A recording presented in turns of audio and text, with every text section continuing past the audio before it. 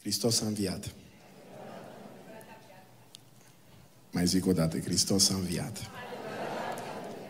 Și pentru că Hristos este viu, învierea Lui ne poate vindeca. Și când spun ne poate vindeca, nu mă refer la niciun fel de așa zisă Evanghelia Prosperității, ci mă refer la faptul că învierea lui Isus ne vindecă de cea mai gravă boală cu care toți ne-am născut. Și anume mortalitatea noastră. Toți suntem muritori. Poate ar suna ciudat dacă vreun doctor, nu poate, cu siguranță ar suna ciudat dacă vreun medic ți-ar spune după ce s-a născut copilul și ți-ar zice e sănătos, doar că suferă de o problemă foarte gravă. E muritor. Peste 90 de ani s-ar putea să moară. Probabil te-ai uitat ciudat la medicul care spune asta. Dar aceasta este realitatea. Noi ne naștem în lumea aceasta cu o condamnare la moarte în buzunar.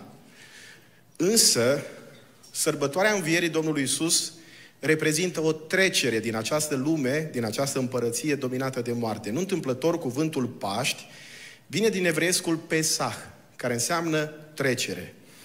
Pentru că învierea Domnului Isus Hristos este o trecere. Spune Petru în 1 Petru în capitolul 1, versetele 3 și 4, Zice acolo, binecuvântat să fie Dumnezeu, Tatăl Domnului nostru Isus Hristos, care după îndurarea sa cea mare ne-a născut din nou prin învierea lui Hristos. Adică învierea lui Isus Hristos reprezintă șansa noastră de a trece din această lume în care ne-am născut cu toții cu această boală terminală, care înseamnă mortalitatea noastră. Avem șansa de a ne naște prin credința în învierea lui Isus într-o altă împărăție, pe care Biblia o numește o împărăție veșnică. De aceea Domnul Isus Hristos spune la un moment dat, cine crede în mine, chiar dacă ar fi murit, va trăi. Așa că de aceea sărbătoarea Paștelor sau sărbătoarea Învierii Domnului Isus este cea mai importantă sărbătoare din an. Pentru că reprezintă șansa noastră de a trece din lumea asta dominată de moarte în împărăția lui Dumnezeu. Deschideți Biblia rapid împreună cu mine la Evanghelia după Luca, la capitolul 24, de la versetul 13 la, cred că versetul 33.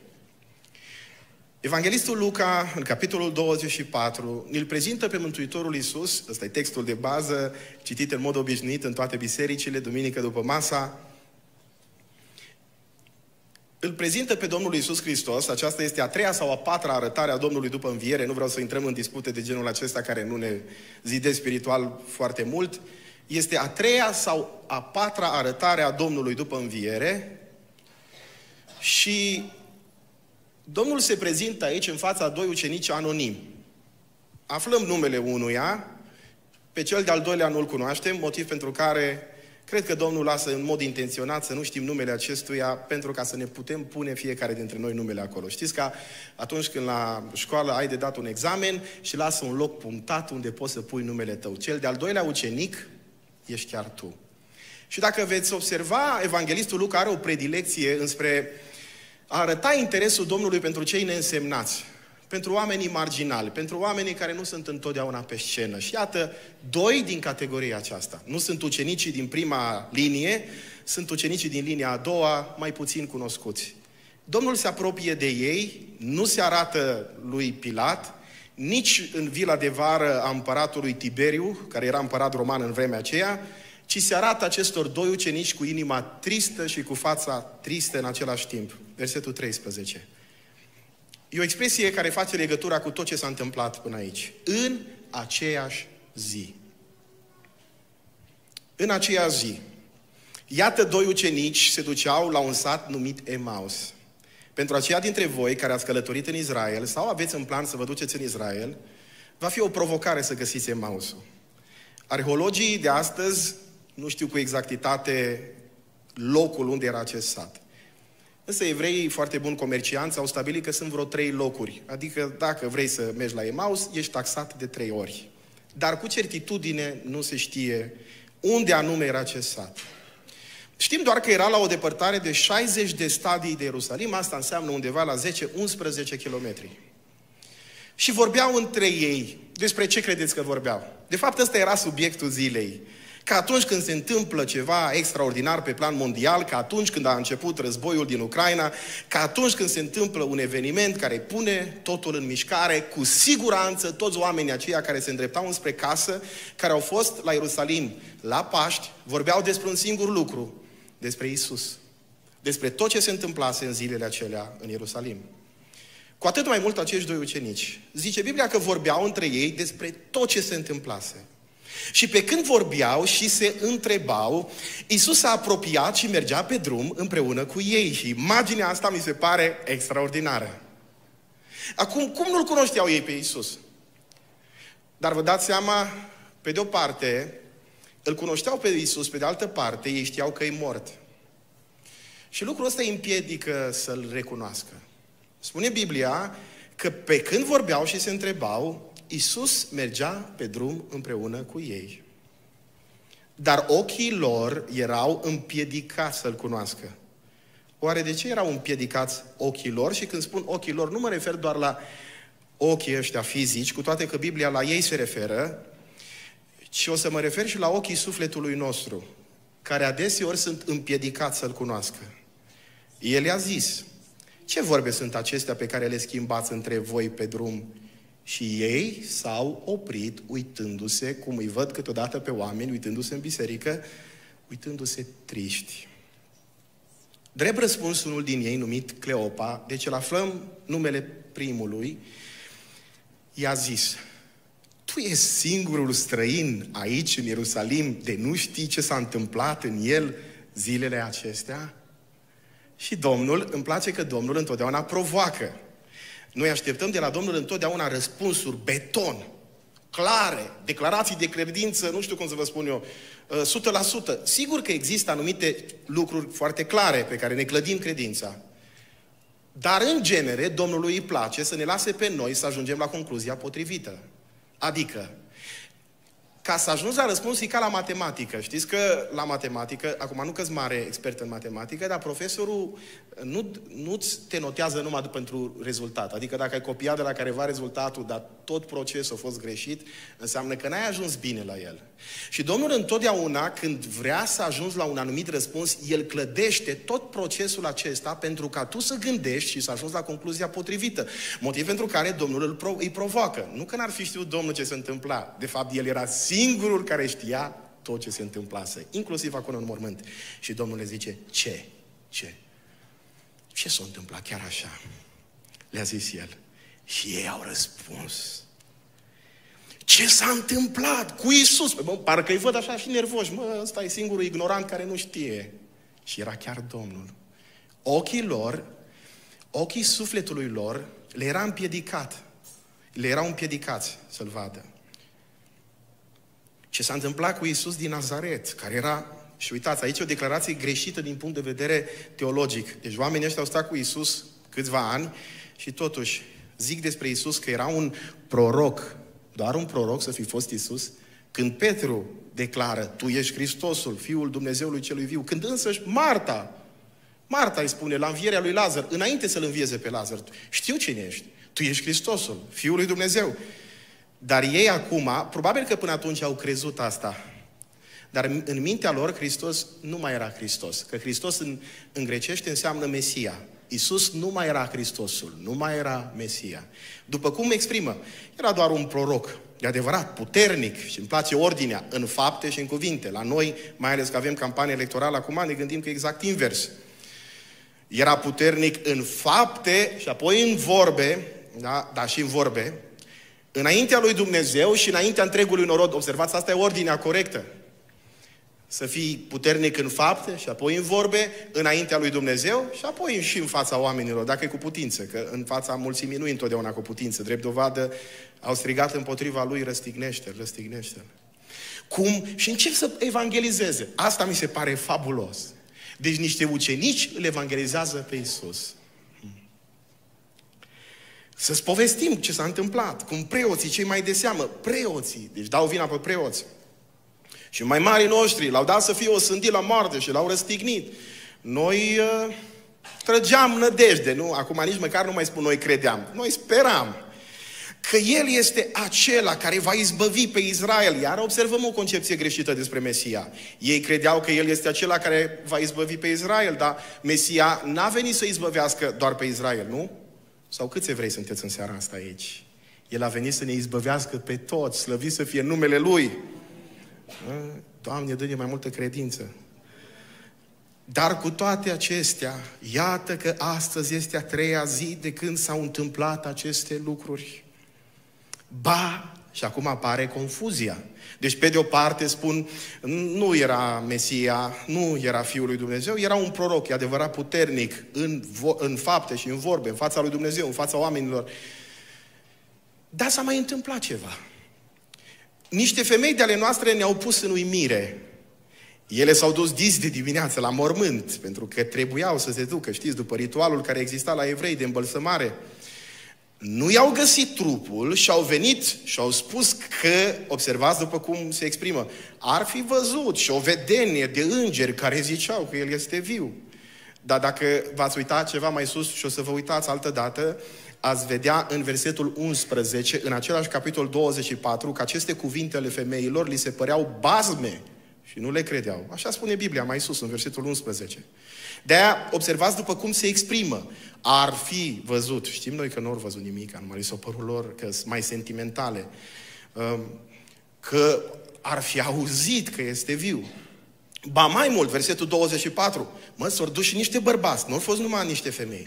Unii dintre cei ce erau cu noi s-au dus la mormânt și au găsit așa cum spuseseră femeile, dar pe el nu l-au văzut. No, gândiți-vă voi că toată discuția dintre asta avea loc între ucenici și Isus care era viu. Și Domnul îi asculta. Și da, mai spuneți, povestiți. Ce imagine extraordinară. E ca și cum cineva ar vorbi cu tine despre tine. Vi s-a întâmplat treaba asta? Uh, cineva care nu te cunoaște, cineva care nu te recunoaște, au mai povestit asta, dar nu povestesc astăzi. Când îți vorbește de bine, e ok. Când nu-ți vorbește de bine, nu mai e așa ok. Atunci Isus le-a zis, și acum fiți atenți, când Domnul folosește cuvinte dure, El nu folosește cuvinte dure cum folosesc unii predicatori ca să aibă rating pe net. Ca să se uite lumea, bă, stai cu adevărul. Ci El folosește cuvinte dure ca să-i trezească pe oameni. E un fel de smurd. Când Domnul folosește cuvinte mai tari, Vă aduceți aminte că și Domnul, nu mai zic de Ioan Botezătorul, că Ioan Botezătorul e expert în cuvinte foarte tranșante. Le zice așa, o nepricepuților. Nu, acum, oricum ați traduce, găsiți voi sinonime la nepriceput. Vă uitați, vedeți. Zăbavnici. Un cuvânt medical modern s-ar potrivi foarte mult pentru zăbavnic. Știți ce înseamnă? Întârziaților. Găsiți voi sinonimele nepricepuților, adică un om care nu se pricepe, nu e un om foarte inteligent, și zăbavnic. Știți ce înseamnă zăbavnic? Adică ai procesorul lent. Cum erau mai de mult calculatoarele. Încetul cu încetul. Zăbavnic înseamnă foarte lent în gândire. Zice, cu inima, dar fiți atenți. Aici face Domnul specificația. Când e vorba să credeți tot ce au spus prorocii, că în altele vă merge procesorul de numai. Când e vorba să credeți ce spune televizorul, bun, sigur nu, se, nu le-au zis asta. Când e vorba să credem toate știrile false, când e vorba să-i credem pe aia care zic că sunt patrioți și ne salvează din patru în patru ani, imediat ăștia cu biserica. Când e vorba să credem tot felul de lucruri, asta nu e credință, de multe ori e credulitate. Acolo suntem, ne merge mintea rapid. Dar când e vorba să credem tot ce au zis prorocii, când e vorba de lucrurile spirituale, mă, acolo e mai greu. Și acum Domnul, după ce vine cu tehnica asta de șoc, limbajul ăsta, nu foarte politicos. Acum, eu nu îndrăznesc să vă spun vouă decât ce spune Domnul Isus. Și niciodată nu voi încerca să iau cuvintele Domnului, să le personalizez în dreptul cuiva. Fiecare după cum se simte. Zice Domnul aici, celor care nu vor să priceapă Scriptura, nepricepuților și zăbafnicilor, când e vorba de lucrurile spirituale. Și acum continuă. Nu trebuia să sufere Hristosul, adică Mesia, aceste lucruri și să intre în slava sa? extraordinar. Bă, voi nu știți că tot Vechiul Testament vorbește despre faptul că atunci când va veni Mesia, El va trebui să pătimească, să sufere. Pedeapsa care nouă ne dă viața și pacea să cadă asupra Lui, cum zicea Isaia. Și, și îmi place așa de mult, o, ce rău îmi pare că n-am ascultat predica asta. După părerea mea, este poate cea mai tare predică din istorie și a început de la Moise. Știți care e Moise? Prima carte scrisă de Moise, Geneza. Și a început de la Moise și le-a tâlcuit, zice, a trecut la proroci și le-a interpretat toate scripturile care erau cu privire la el. Numai Domnul putea predica din Geneza până la sfârșit. Ceilalți, niciodată. Nu-i bine să faci treaba asta. Dar Domnul a început cu Moise, cu cărțile lui Moise, prima carte lui Moise, Geneza, și a toate prorociile mesianice, și întotdeauna am fost pasionat de asta. Mi-am scris licența despre profețiile mesianice din Vechiul Testament, am și publicat-o la un moment dat. Am fost întotdeauna pasionat și aș putea să vă vorbesc, dar nu facem noapte de veche, despre faptul că tot Vechiul Testament vorbește despre El, slăvit să fie numele Lui. Ce n-aș fi dat să stau să ascult predica asta? Și mergeau ucenicii cu el și ascultau și ascultau și ascultau. Și au trecut trei ceasuri, cam așa. Parcă îi văd mergând așa, în slow motion, că erau zăbavnici. Când s-au apropiat de satul la care mergeau, el s-a făcut, iar îmi place faza asta, câteodată îl mai, vă aduceți aminte că Domnul era pe mare și la un moment dat se face că vrea să treacă pe lângă ucenicii lui? Ar fi fost culmea să treacă pe lângă ucenici în timp ce erau acolo. Zice că el s-a făcut. De ce sunt expresiile astea în Biblie? Uh, Domnul, de fapt, vrea să le pună la încercare credința. El s-a făcut că vrea să meargă mai departe, dar ei, și aici o expresie penticostală, pe care noi penticostale o iubim mult, câteodată o aplicăm greșit, să ne ierte Domnul, dar ei au stăruit de el și au zis, și acum e aici o expresie, e o propoziție pe care o cântam noi când eram la țară, mai de mult stați liniștiți, nu cânt în seara asta, rămâi cu noi, căci este spre seară și ziua aproape a trecut. Și a intrat să rămână cu ei. De ce? Pentru că au stăruit. Pentru că au insistat ca Domnul să rămână cu ei.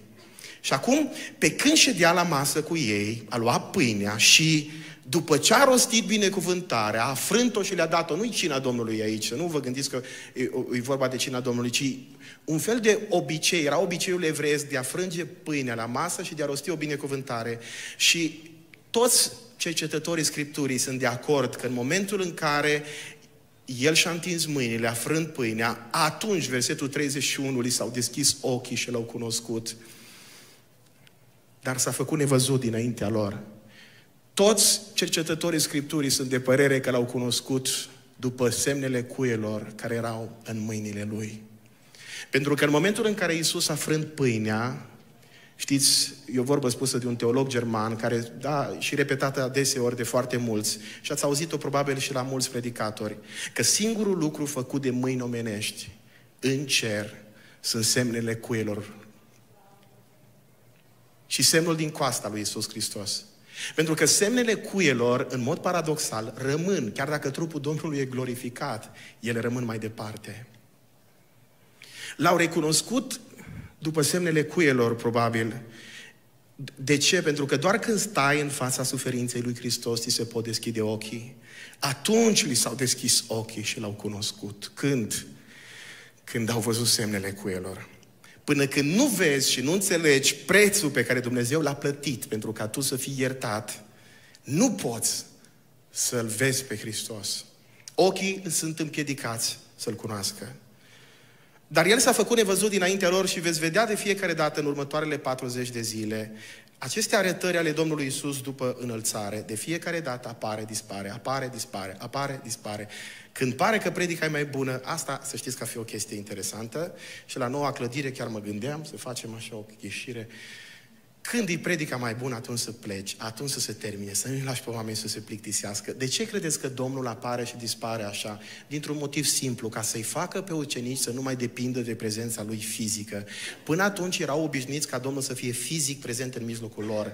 De aici încolo, El le-a spus, eu mă duc, dar vă las un mângâietor. De astăzi nu mai sunteți singuri, prezența mea nu mai este una fizică, dar de astăzi încolo prezența mea este una spirituală. De aceea apare, dispare în toată perioada asta până la înălțare. Atunci li s-au deschis ochii și au zis unul către altul, nu ne ardea inima în noi. O, ce îmi place imaginea asta. Și văd tot mai rar în bisericile noastre oameni a căror inimă să ardă când cuvântul lui Dumnezeu e rostit. Probabil că e și vina noastră a predicatorilor. Acum ne place nouă să dăm vina pe voi. Adevărul e la mijloc. Câteodată sunteți voi de vină, altădată suntem noi de vină, să ne ierte Dumnezeu pe toți. Amin. Și să ne facă în această seară acest lucru, această minune care s-a întâmplat și cu, și cu ucenicii ăștia doi necunoscuți, să facă Domnul să ardă inima în noi. Nu ne ardea inima în noi când ne vorbea pe drum și ne deschidea scripturile. S-au sculat chiar în ceasul acela și s-au întors la Ierusalim. Și au găsit pe cei 11 și pe cei care erau cu ei adunați la un loc și zicând, a înviat Domnul cu adevărat, s-a arătat lui Simon și au istorisit ce li se întâmplase pe drum și cum l-au cunoscut la frângerea pâinii. Aleluia! Aici aș face o remarcă. Au crezut doar când s-a arătat lui Simon. Până s-a arătat femeilor, nu prea au crezut. Când s-a arătat lui Simon, zice, acum sigur s-o, s-o uh, într-adevăr un înviat. În urmă cu, cred că v-am povestit și data trecută de Paști, dar de atunci am predicat de atâtea ori încât e imposibil să cred că cineva își mai aduce aminte. În urmă cu câțiva ani de zile, m-am dus să fac o rugăciune la un om bolnav, așa cum obișnuiesc de multe ori. Și omul acesta avea o formă de cancer la un ochi, dar o formă de cancer exterioară foarte dură. Era și un miros greu în jurul lui și arăta foarte, foarte rău. Nimeni nu se apropia de el, medicii se apropiau întotdeauna cu foarte mare atenție, își puneau mânuși. Nici măcar cei din familia lui. Cât am fost acolo, am făcut ce trebuia să fac într-un context de genul acesta, am rostit o rugăciune, dar am văzut că omul nu reacționează în vreun fel. Adică, știți cum e? Se întâmplă câteodată că unele familii duc toți păstorii, toți predicatorii, doar Dumnezeu a ascultat pe unul dintre ei. În nădejde că poate ăsta e mai pocăit decât celălalt. Fac un fel de concurs. Și acum oamenii ăștia uh, duseseră până atunci mai mulți acolo și omul nostru săracul era deja obosit și obișnuit de tot ritualul acesta. Mi-am dat seama că el era în altă parte. Eu făceam rugăciunea și ziceam și el nici nu mă băga în seamă. Și în timpul acesta, Duhul lui Dumnezeu mi-a pus un gând. Și mi-a zis, îmbrățișează-l. Vă mărturisesc că în primă fază n-am fost în stare să ascult de Dumnezeu. De ce? Pentru că v-am spus, omul nu arăta grozav, oamenii păstrau distanța, nu mirosea prea bine, avea uh, imaginea asta extraordinar de, de grea. Dar Duhul lui Dumnezeu în mod insistent, cu toate că eu mă tot gândeam acum să plec, să plec, să plec, nu mă lăsa și am zis, dacă nu fac pasul acesta, după aceea îmi va părea rău. Și acum ce am de pierdut până la urmă? Dacă e de la Domnul, e de la Domnul. Dacă nu a fost numai din elanul meu, din sentimentul meu, dacă sunt prea pentecostal, prea bihorean, prea evanghelist, nu niciun bai, că nu, până la urmă nu pierd nimic. Boala asta nu era contagioasă. V-am zis, era o formă de cancer, nu era contagioasă, dar crea repulsie. Și l-am îmbrățișat. Și din momentul în care l-am îmbrățișat, atitudinea omului s-a schimbat total. Din momentul în care l-am atins, omul ăla a început să plângă și mi-a zis, sunt acum în starea asta de foarte mult timp, nu mai știu de câte luni de zile, era într-o stare foarte, foarte grea. Și de atunci toată lumea păstrează distanță de mine, nici măcar copiii mei, cei mai apropiați din familia mea, n-au puterea asta să mă atingă. Când l-am îmbrățișat, i-am spus, Dumnezeu mi-a pus în gând să fac lucrul acesta și te îmbrățișez pentru că Dumnezeu mi-a pus gândul acesta. Mi-am dat seama atunci cât de mult poate vindeca, și asta am văzut-o noi de-a lungul timpului, atingerea vindecă, liniștește. În general, vedeți copiii pe care țineți lângă voi, dacă un copil se agită puțin, nu mai vezi că mâna tatălui pune și se liniștește. Câteodată și atunci se liniștește, se liniștește. Dar, în general, atingerea liniștește. Mi s-a întâmplat odată să fiu în avion și să stea lângă mine un individ bine făcut, într-un zbor lung spre Australia. Omul a băut mult că era frică de zbor și cred că o băga și ceva medicamente. Deci cel mai prost amestec posibil. Și pica pe mine, să mai trezea din când în când. Și când am intrat într-o zonă cu turbulențe, omul efectiv m-a prins de mână și era, era. Mi-au rămas urme, efectiv. Se ținea de mine. De ce? Pentru că atingerea liniștește. Când Domnul Iisus Hristos se arată lui Ioan, care săracul era cu domiciliu forțat pe o insulă, de jur împrejurul lui era doar mare, Marea Egee. Era acolo, așa cum v-am spus, cu forța. Și când, când Ioan îl vede pe Domnul, se prăbușește la picioarele lui, îl vede în toată gloria și slava. Nu mai era acel Iisus cu cunună de spini, cum am cântat, ci un Hristos glorificat. Fața lui, zice Ioan, era ca soarele în toată puterea lui. Și Domnul face un singur lucru, zice, Domnul și-a întins mâna dreaptă peste mine și apoi mi-a zis, nu te teme. Pentru că prezența lui Isus Hristos ar trebui să ne liniștească. De aceea mă rog în această zi să înțelegi că învierea lui Isus vindecă. Și o să vă spun foarte succint, pentru că ați observat la mine citirea textului practic înseamnă cea mai mare parte din predică. Învierea lui Isus ne vindecă, ne vindecă, vindecă ochii sufletului de tristețe. Biblia spune că ochii acestor oameni erau împiedicați să-L cunoască. Doi, le vindecă mintea de confuzie. Uitați-vă la ei, nu știm ce să credem, proroc. Dar am auzit că ar fi înviat, femeilor zis că au înviat, au fost și de la noi doi, dar nu l-au văzut. Dar noi totuși am hotărât să plecăm, nu mai sperăm că va fi Mesia, noi trăgeam nădejde că va fi. Deci tot ce spun oamenii ăștia e o confuzie totală. Exact ce se întâmplă cu mulți oameni din vremurile noastre. Rămân șocat de faptul că totuși forța asta a tradiției face pe români încă să se declare într-o proporție covârșitoare creștini. Și am rămas uimiți că după ultimul recensământ atât de mulți oameni încă se declară creștini, dar dacă vei vorbi în mod personal cu ei, oamenii au în mintea lor o confuzie totală. Când stai la marginea gropii și zici, uite, de Paști noi declarăm că Hristos a înviat și spui adevărat a înviat, crezi că într-o zi omul ăsta, trupul ăsta va învia? A, păi zice, știe Dumnezeu. Și în mintea noastră e așa o confuzie, domne, nu știu ce o fi, poate că o fi, o înviat, nu o înviat, cine știe ce a fi dincolo, n-ați auzit vorba asta spusă chiar de oameni în vârstă care se duc la biserică. Domne, nimeni nu s-a întors de acolo, dar noi știm că cineva s-a întors. Și El este viu în vecii vecilor. Și stă la dreapta Tatălui mijlocind pentru noi.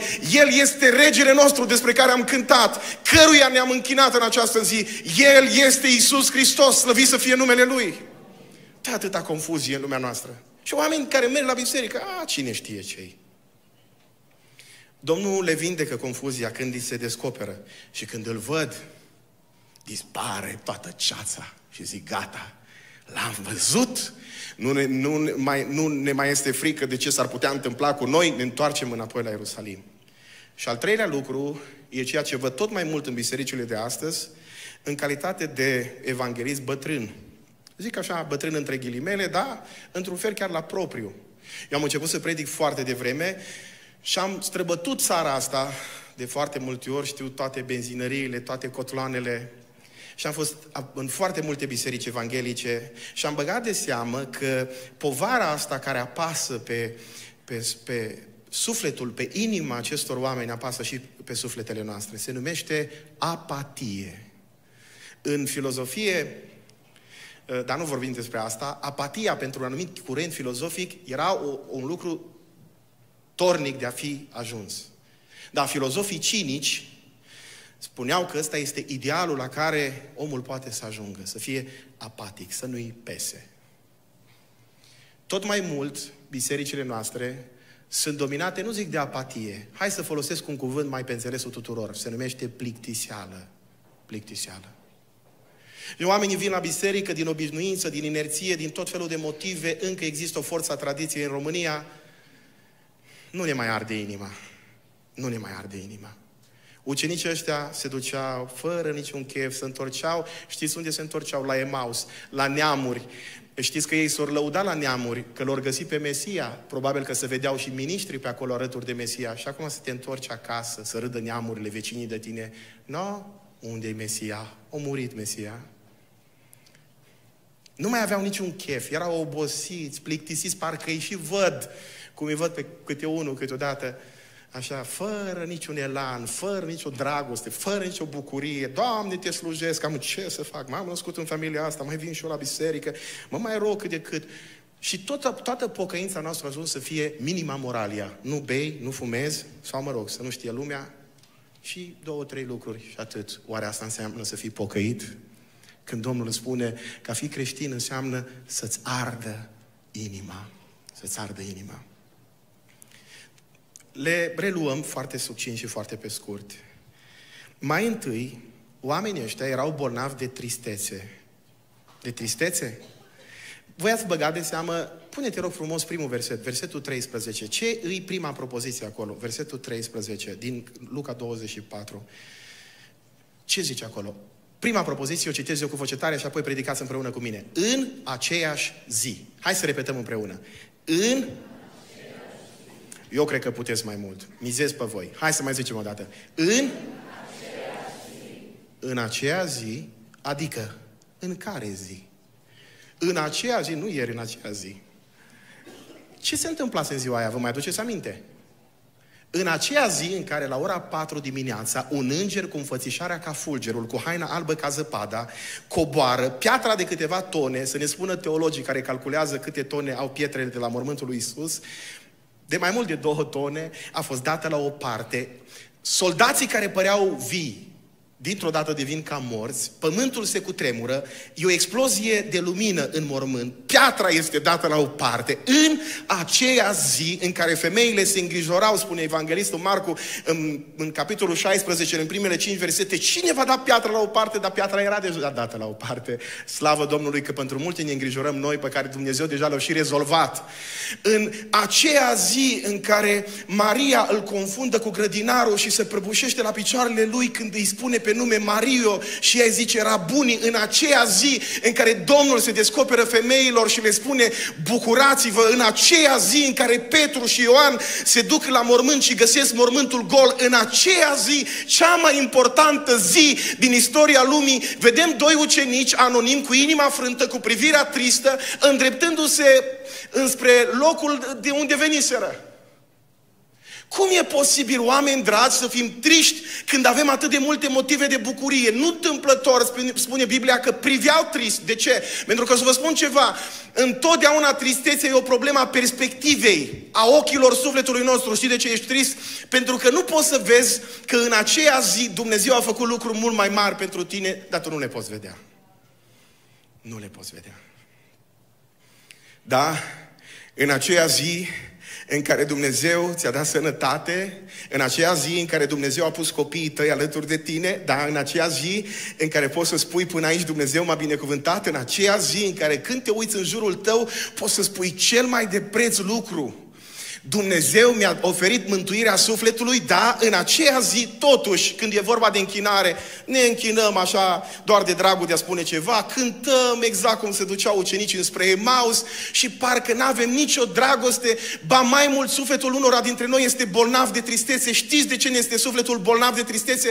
Pentru că perspectiva noastră e bolnavă. Și am să vă spun ceva, dacă vrem să fim triști, întotdeauna vom găsi motive de tristețe. Dacă vom număra toate lucrurile grele și rele din viața noastră, dacă vom vedea întotdeauna umbrele, dacă ne vom uita la lucrurile care nu sunt prea fericite în viața noastră, întotdeauna vom avea motive să privim trist și să nu-L vedem pe Isus. Da? În aceea zi în care spune Biblia în versetul 15, Isus mergea cu ei pe drum, dar ei nu-L vedeau.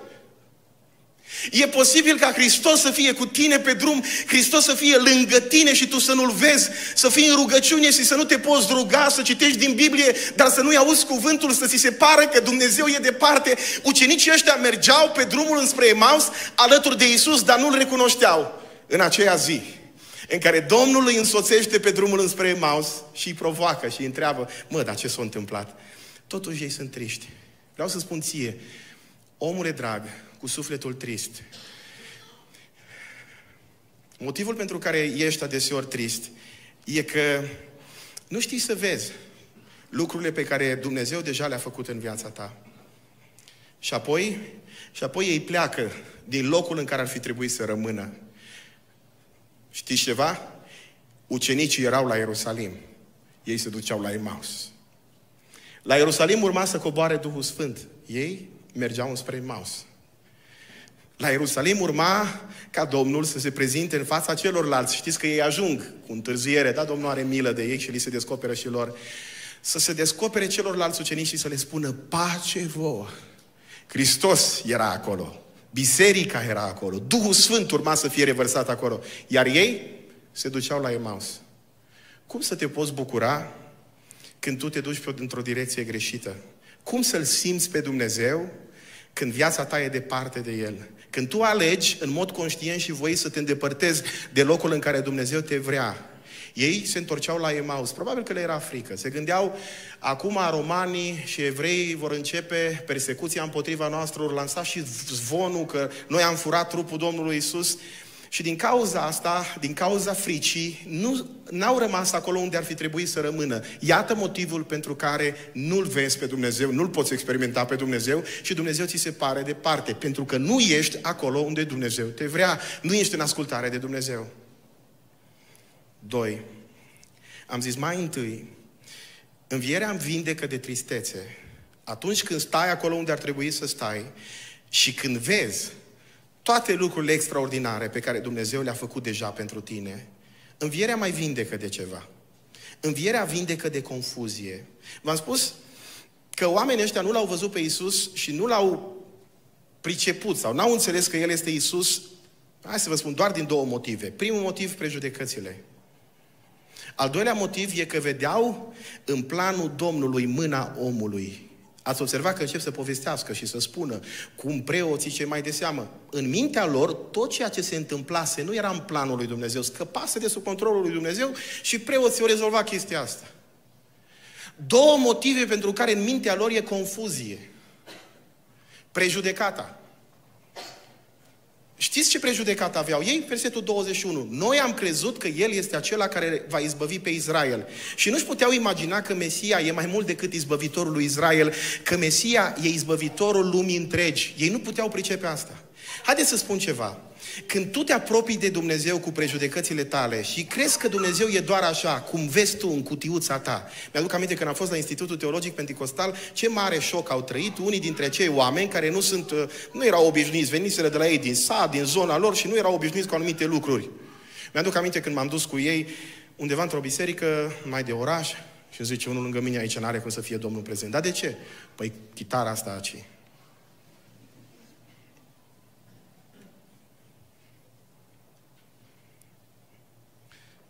Ăsta nu poate fi Domnul. Parcă, parcă îi aud pe ucenici vorbind unul cu altul. Nu ți se pare că seamănă cu Domnul, dar nu poate fi Domnul. Într-un fel îi înțeleg. Te gândești că participi la înmormântarea cuiva drag și a treia, a patra zi parcă îl vezi pe undeva și zici, mă, mi se pare mie, mă, ce seamănă, ce seamănă. Dar când tu vii cu prejudecățile tale, când tu spui, băi, eu am fost crescut în tradiția asta, eu am fost crescut că dacă nu e o lumânare în fața mea, dacă nu e un sfânt altar, dacă nu, nu repet uh, o anumită rugăciune, dacă, dacă nu fac un anumit ritual, cum mi-a spus cineva, domne, ce îmi place la voi la biserică, dar nu există partea aia, sobrietatea aia, nu există uh, mirosul ăla de tămâie, nu există uh, frumusețea aceea a ritualului. Și unii dintre noi avem senzația că dacă lucrurile nu sunt așa cum tradițional am fost noi obișnuiți, înseamnă că nu-i Hristos acolo și nu-L poți vedea pe Isus. Și nu mă mir că îi vezi pe unii oameni, când voi cântați aici în față, că așteaptă predica.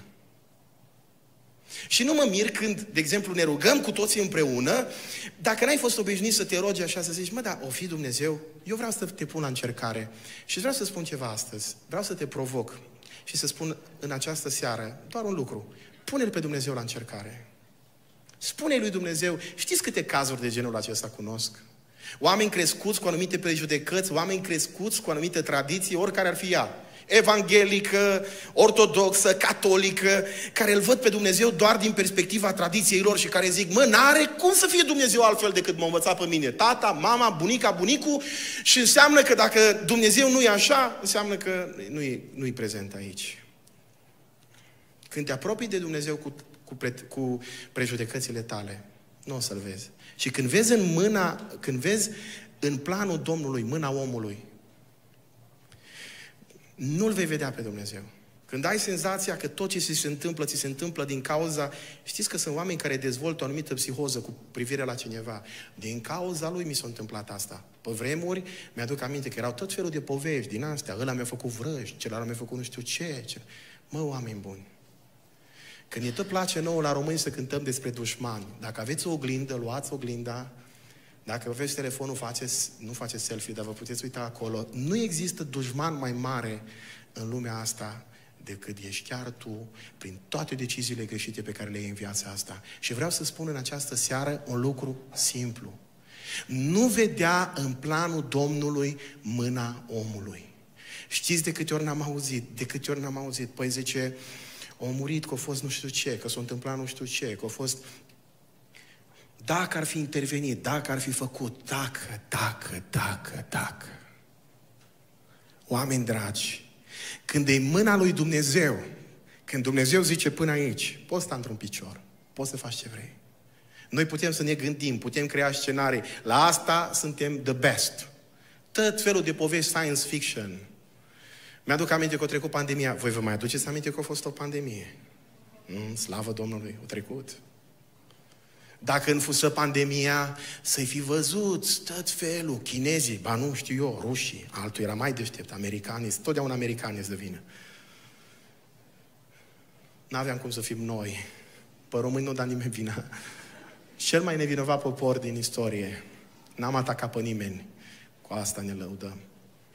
Facem tot felul de scenarii, am tot făcut noi pe scenarii și știe, știe fratele de la Poșoloaca și știe Nană Floare din nu știu ce sat, cum stă treaba cu rușii, cum stă treaba cu americanii și totdeauna credem că e o conspirație. Hai să vă zic ceva. Știți de ce, știți de ce vedem întotdeauna o conspirație? Că noi avem prea multă încredere în inteligența umană. Așa îmi place de mult și am mai zis-o aici. Andrei Pleșu spunea că una din dovezile că Dumnezeu există e faptul că avem conducători atât de proști, dar totuși lumea continuă să existe. Asta e o dovadă că există Dumnezeu. Cu atâtea focoase nucleare și cu atâția nebuni la butoane, totuși încă niciunul nu a apăsat pe buton. De ce? E acolo mâna lui Dumnezeu. Dar noi zicem, a, na, na, na, nu se poate, aici sunt masonii.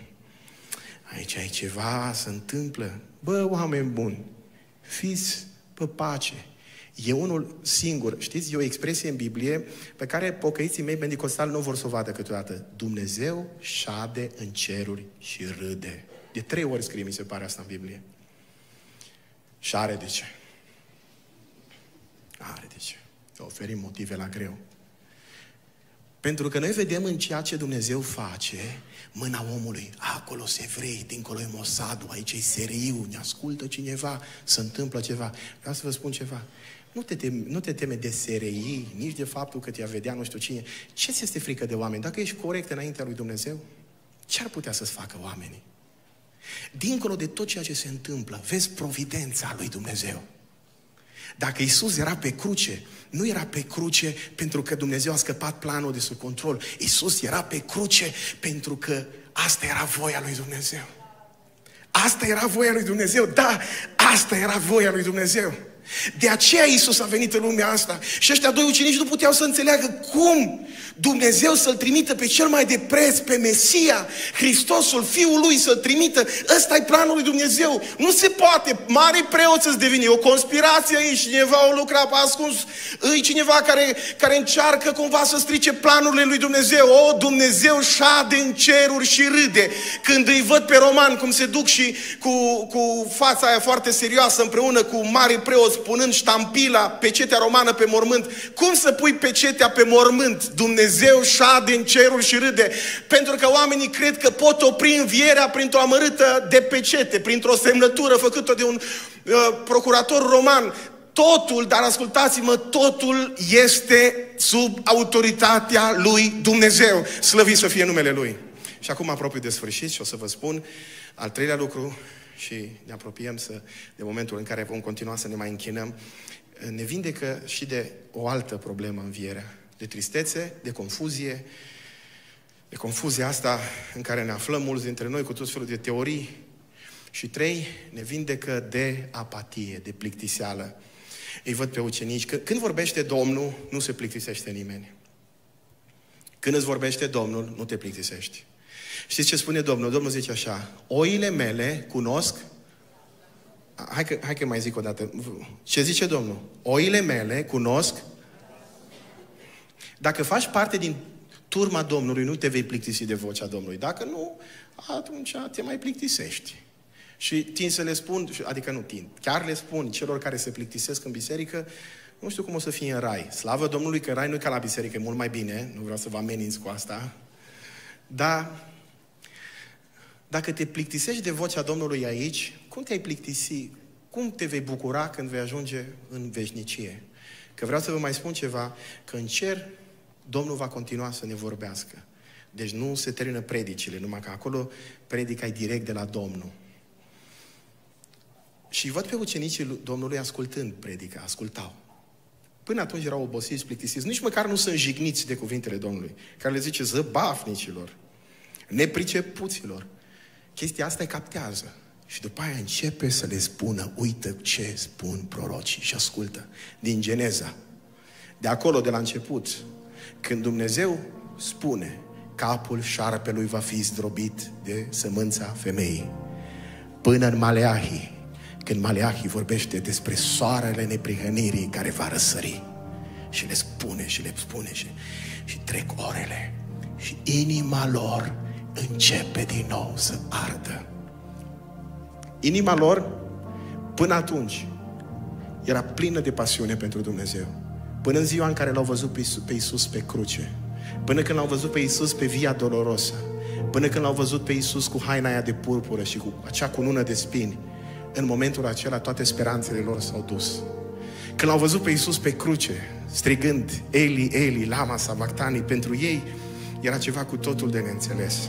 Stăteau de departe, spune Biblia, și priveau.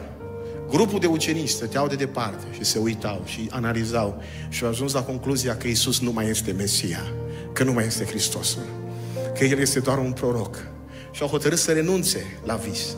Au, au hotărât să renunțe la motivul pentru care erau la, lângă Isus. Și au zis, ne întoarcem din nou la Emaus. Și când se duceau spre Emaus cu inima stinsă, a venit Isus Știți ce mi se pare interesant la oamenii ăștia și o să vă spun și vouă și apoi ne vom închina lui Dumnezeu. Oamenii ăștia vorbesc despre Isus, dar totuși inima lor nu arde pentru El. Când Domnul îi pune la încercare și întreabă ce? Mă, știau să evangelizeze extraordinar. Parcă au fost la curs de evangelizare. Au început să-i spună despre Isus. Tu poți să vorbești despre Isus, dar totuși inima ta să nu ardă pentru El. Să știi lucruri despre El, dar totuși inima ta să nu ardă pentru El. Și când Domnul îi se descoperă și când îl recunosc, dintr-o dată li se deschid ochii. Nu doar mintea, ci și ochii sufletului lor. Și dintr-o dată Inima lor începe să ardă, sufletul lor e cuprins din nou de acea pasiune care îl pune pe om în mișcare. Pentru că o întâlnire cu un Hristos înviat te pune în mișcare. Dintr-o dată spun, nu mai putem să stăm aici, trebuie să ne întoarcem la Ierusalim. Nu mai există niciun pericol, orice pericol ar fi. Știm că Domnul nostru este viu, nu ne mai pasă nici măcar de viața noastră. Și știm din istoria tradiției și din tradiția creștină că Ucenicii Domnului au murit ca martiri. De ce au reușit să moară ca martiri? Pentru că inima lor ardea pentru Hristos. Îmi doresc pentru generația mea să fie o generație, o generație care să aibă o inimă aprinsă pentru Domnul. Suntem tot mai plictisiți, suntem tot mai obosiți când e vorba să chem pe cineva să slujească. Oh, frate, a, n-am chef, mă doare spatele. Când e vorba de biserică, ne doare spatele, ne doare capul. Când e vorba de lucrurile lui Dumnezeu, n-avem niciun chef. Oh, da, să-l vezi când e vorba la lucru, să facă. Bă, cât câștigă astăzi? 100 de euro? Hai să vezi ce bagă. A rugăciunea, Doamne ajută. Nu ne mai arde inima. Știți care e diferența? Și, și o spun într-o oarecare cunoștință de cauză. Diferența între generația noastră și generația înaintașilor noștri nu e nici pe departe calitatea. Calitatea e tot mai bună, paradoxal suntem tot mai mulți doctori în teologie și mă încadrez și eu aici ca să mă laud puțin și tot mai bolnavi. Cu tot mai mulți doctori și tot mai becheși, cum zice Bihoreanu. Tot mai bine pregătiți, cu biserici tot mai profesioniste, dar parcă cu inimi tot mai goale și tot mai lipsiți de o pasiune autentică. Și nu mă refer aici doar la activism, că poate exista activism fără spiritualitate. Nu vreau o biserică cu activiști de partid, care să facă din credință pentru Biserica Lumina, nu. Ci vreau o biserică plină de oameni cu o inimă care să ardă pentru Dumnezeu care să ardă pentru lucrurile spirituale, care să ardă pentru veșnicie, care să ardă pentru rugăciune, care să ardă pentru cuvântul lui Dumnezeu, care să ardă pentru Dumnezeu. Când ultima dată te-ai pus pe genunchi și ai simțit prezența lui Dumnezeu? Când ultima dată ai citit din Biblie și ai simțit că Dumnezeu îți vorbește? Când ultima dată fiind în biserică ai simțit că Dumnezeu îți vorbește exact cauzei tale și ai început să strigi din adâncul ființei tale Dumnezeul meu este viu, Dumnezeul meu este viu. În seara asta acest Dumnezeu viu e prezent aici. Și vrea să ne închinăm Lui. Haideți să ne ridicăm în picioare. Și aș vrea să continuăm să ne închinăm înaintea Lui împreună cu echipa de închinare. Și aș vrea ca această parte a închinării, partea asta finală a închinării noastre, să fie una în care inimile noastre să ardă. Aș vrea acolo unde e să-i spui lui Dumnezeu, Doamne, dacă sunt bolnav în vreun fel sau altul în sufletul meu, vindecă-mă seara asta de tristețe. Un Hristos viu te vindecă de tristețe. Un Hristos viu te poate vindeca de confuzie. Și poate în mintea ta există o grămadă de întrebări și nu știi încotro să apuci. În seara asta Dumnezeu prin Duhul Sfânt îți poate da direcție. Poate că, poate că sufletul tău e lipsit de pasiune pentru lucrurile spirituale. În seara asta, Hristos care e prezent prin Duhul Sfânt în Biserica Lumina, poate reaprinde rugul stins al inimii tale. Și inima ta poate fi din această seară un rug aprins pentru El. Haideți să ne închinăm Lui și să cântăm. Și după cântarea asta voi rosti o rugăciune și apoi vom continua să ne închinăm lui Dumnezeu cântând cântecele noastre să rugăciuni. E ziua de Paști, nu vă grăbiți nicăieri. În seara asta aș vrea ca Dumnezeu să se atingă de tine. Hristos este viu. El e prezent aici. S-ar putea să fii ca cei doi ucenici care nu l-au văzut, nu l-au simțit. N-aș vrea să fii ca cei doi ucenici. El este aici. Și mă rog, Doamne, deschide ochii inimii noastre. Vrem să te vedem.